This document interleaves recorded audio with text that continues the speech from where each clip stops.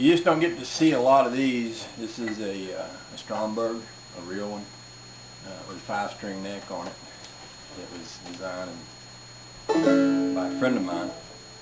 I just thought I'd play it. It's got a skin head on it, uh, just so you can get a chance to see what it sounds like.